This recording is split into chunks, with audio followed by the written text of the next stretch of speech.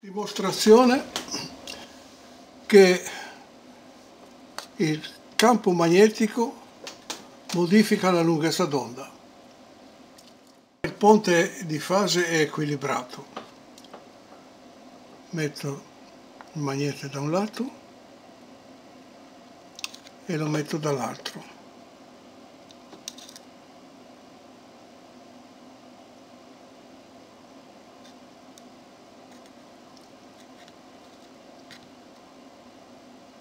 É Ribeiro.